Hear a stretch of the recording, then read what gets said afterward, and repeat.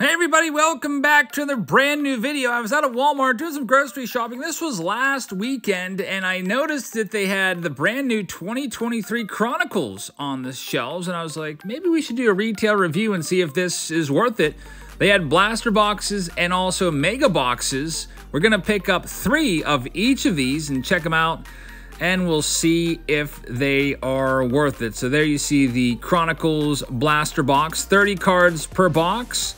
And then the mega boxes have a guaranteed auto or relic with 48 cards. We'll go through all these and see what we can find. Now, the price point on these is going to be they rang up at $24.98 for a blaster box. There's the mega box being scanned right now. That one would come up at $44.98, so 47 and some change, almost 48 bucks and uh, 25 for these. So we'll go and open these all up and see if they're worth it. Thank you very much for watching. Hit that subscribe button. Now let's see what we find in these boxes. All right, everybody, we are back from Walmart. We're going to check out the new 2023 Chronicles. This is a retail review. I also picked up one box of everything from Walmart. These I picked up last week when I saw them come out, but I just been so busy with Topps Chrome Update and doing videos about that product that I haven't had time to do this video until now. And then yesterday I went to Walmart and there's a bunch of stuff, new, freshly stocked inventory. They had archives, blasters on the shelves, and I was like, you know what? I think I'm going to pick up one of every single box. So that'll be a fun video. We might do that tomorrow, maybe Tuesday, but that one's coming soon as well. So let's check these out. 2023 Chronicles. One thing I've noticed is the price has come down on retail, and it's about time. I've been complaining about Panini retail prices since they went up to what, $35 a box for a blaster box last year, was that what it was for like Optic and Chronicles? I think it was just way too high for what the uh, return on it, the investment is. So we have two different boxes that we picked up today. And yesterday I picked up the fat packs. We'll check those out in the box of everything. I literally bought one of every single baseball product that was on the shelves. But this one here, this is $24.98. And the Mega Box has one guaranteed autograph or relic. So I wish it would be an autograph every time. That would make it a little more worth it, but not too bad. It is $44.98. So 45 bucks for this, you're paying 20 extra dollars for that relic or auto. Plus, you also get, oh, what, almost double the cards. There's 30 cards in this. There's 48 cards in this one. Let's go ahead and get things started. Jack Holland is going to start us off. The way I sold this was each person that bought a spot gets a blaster and a mega box. So Jack, check out your blaster first and see what we can find. By the way, if you'd like to participate in any videos like this when we sell all the spots on our Patreon page, you can join up on Patreon. There's a link in the description, or you can just Google Join Jabs Family Patreon and go to the Patreon site there and join that way. Tonight, we have a special Patreon-only live stream where we will be opening a whole bunch of different products. And uh, it's our Saturday Showdown. We're giving away a $500 Ken Griffey Jr. 1989 Bowman rookie card painting. It's literally a painting of Griffey's rookie. Should be pretty awesome. Every time you grab a spot, you're entered into that. So check that one out tonight. It'll be fun. It's on Patreon only. And now let's go ahead and see what we can find for Jack Holland here and see if we can find some lucky cards. Jack usually has some good luck here on the channel. Here we go. Chronicles Blaster Box. Fergie Jenkins leads it off with Joe Girardi. Remember, it's all old players and prospects in this as they do not have a Players Association license anymore. They can't use any active players. Every now and then you'll see like a Bobby Witt Jr. or Elly De La Cruz or someone that's in the big leagues that has kind of been uh, loopholed into being this product. There's Craig Biggio Revolution card it'll be interesting to see if we pull any autographs from these blasters. Got Justin Crawford there, Catfish Hunter Pinnacle design. So Chronicles has a whole bunch of different designs working for you here if you like the different designs. Some people really love this product. This one's out of 99, Francisco Alvarez. Some people dislike Panini just because of the lack of logos. Endy Rodriguez rookie card, Pirates catcher. All these upside down cards make me think we're going to have a hit. There's David Wells, Ricky Tiedemann right there. We'll switch this one around. We've got Nomar Garciaparra, Mikey Romero, Dylan Lesko. So nothing too crazy in this first one. Marcelo Myers, a nice name. And we wrap this one up here with another Francisco Alvarez, Bernie Williams. And now it's time to check out the Mega Box. So nothing really in that uh, first box, as kind of usually the case with Panini retail products.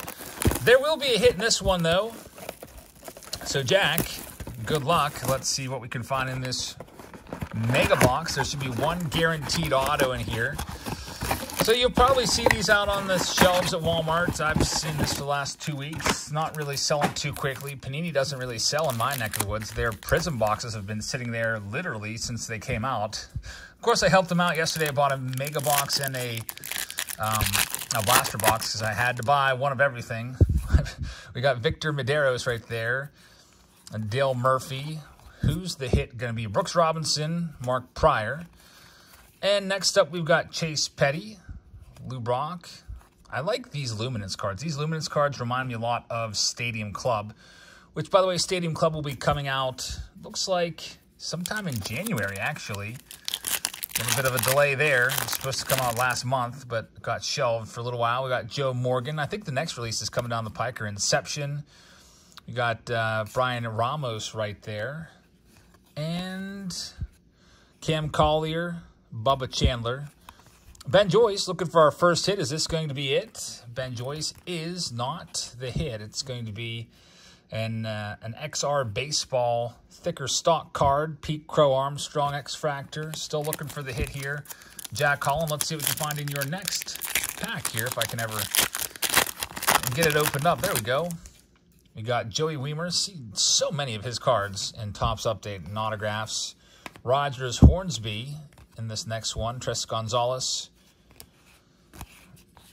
And Tim McCarver. Me personally, I'm not a big fan of archives. Not, not, not archives, check that. This is kind of like their version of archives with the different designs. Chronicles, it's just a little too busy for me with all the different designs. I, I like how Archive does it with just three designs, so you don't have to... I almost feel like I'm looking through some mixed collection of just all kinds of different cards. And you know, whenever you go to like a, I don't know, like a flea market or something, there's just a whole bunch of random different cards all thrown together. It's kind of almost like that. Here's Trevor Hoffman, and I was hoping that was going to be the hit. It'd be nice to find a Hall of Fame autograph in here. We still have two packs to find the autograph or the relic.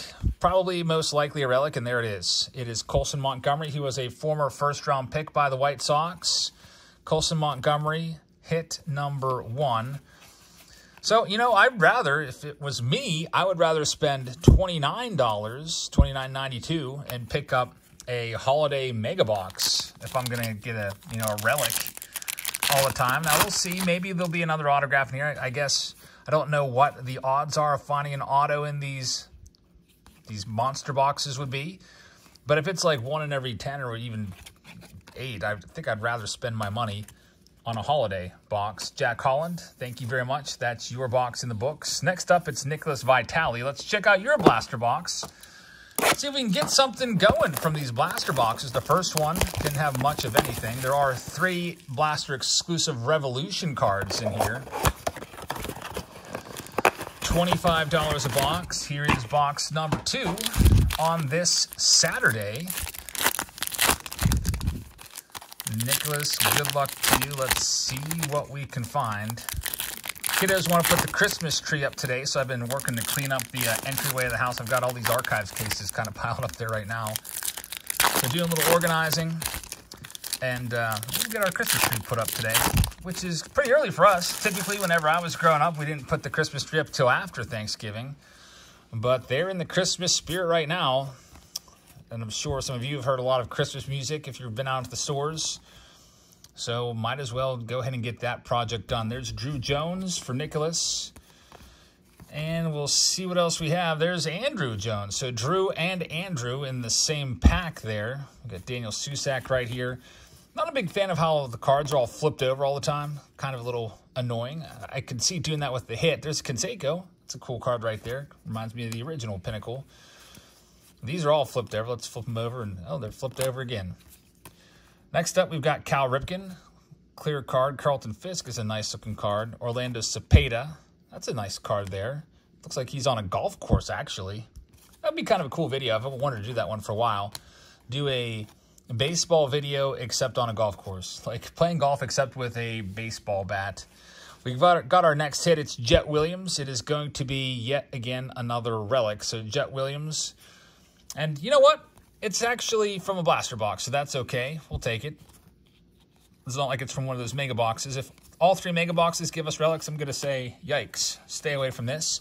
I'm glad we got a relic in there in the blaster box. So, Nicholas, now let's check out your mega box and see what we can find. Mickey Mantle on the front of this box, along with Jordan Lawlar. Lawlar's in the big leagues now. He made his MLB debut. You'll likely see him in Topps Series 2. All right, Nicholas, here's the next packs up. Let's see if we can get you an autograph. I don't understand why Mickey Mantle's on the front of these packs, by the way. There was a big, uh, big to-do, big reunion of Topps reacquiring the rights to Mickey Mantle. I think that was two years ago. What happened? Was it just for one year? They really didn't do much with Mantle at all, either. They uh, they made like an NFT of him, and they made the Mickey Mantle boxes. Those 2021, was it 2021? Mickey Mantle boxes where they just kind of rehashed all the different old mantle designs and put them in there and tossed in, I think, seven total autographs, which we pulled one of them. Literally seven autos in the entire print run, and we pulled one of them here on the channel. One of the greatest pulls ever here on the channel. So they had his rights, I guess, just for a year or so. Then Panini got them back. There's Drew Jones again. I don't know. I, I guess Panini was like, we really need to have Mantle because we're only doing old players now and prospects. I haven't really seen many Mantle cards, although they do have Mantle's, you know, image on the box. Maybe that that helps sell boxes. not really finding a lot of Mantle cards. It'd be cool if they'd put some Mantle relics in here, some cut autos, but you know those are tough to come by.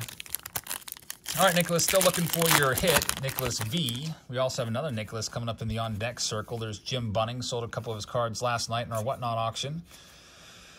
Warming Bernabel, there's Jim Catfish Hunter. Is this going to be the hit? It's a thicker card. It is not. It's a Recon Gavin Williams. And there's Nolan Ryan Obsidian, which is a nice looking card right there. This pack feels thick. Maybe this will have the hit. I'm hoping it's going to be a, like a patch auto here.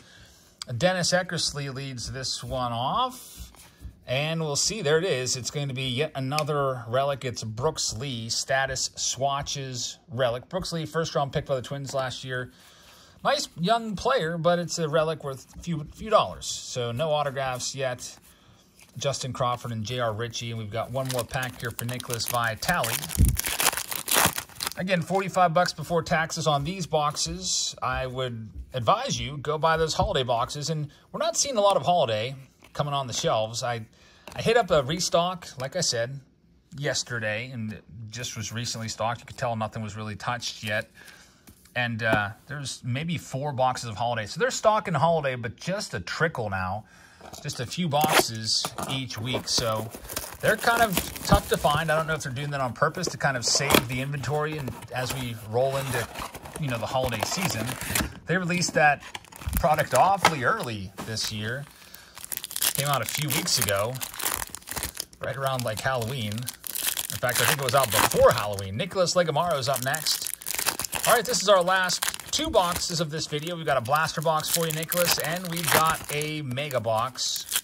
So far, the mega boxes, I'd have to give those probably a, a D at best, maybe an F, because and $45 is not a bad price. If they were charging like 80 bucks for that, I would psh, forget that. But $45 is not terrible, but you're not guaranteeing an autograph. And so far, we've only pulled relics. All right, so here we go with this next one here for Nicholas Legamaru. Good luck to you. Hope we can find you something good. There's Robin Roberts. Justin Crawford is in there. They pulled a, a relic out of the last one. It'd be nice to pull another one. And Evan Carter right there for the Texas Rangers. That's a nice one. There's a Albert Pujols card also, Revolution. Nice looking card right there. Take a look at the next cards up. Eury Perez, rookie card. He started out the season so well. He's doing so, so well, and the Marlins sent him down because they wanted to save his uh, save his arm a little bit, manage his innings. And then he came back up and just wasn't quite as good. That can happen throughout the course of the season, though. You know, young player like that, logging a bunch of innings. Second half, they might not be as good. Here's the last box of this video, and thank you for joining us today, everybody. Again, we'll be live tonight on Patreon only if you want to check us out over there, doing a box award, giving away a $500 Ken Griffey Jr. painting. If you'd like to participate in the box awards, we sell all those spots on Patreon. They are for sale right now on Patreon if you'd like to check it out. Now let's check these out and see what we've got in this one. There's Jackie Robinson, Elly De La Cruz rookie card right there. Again, Elly De La Cruz makes his way in because he did not appear in the big leagues before a certain time frame.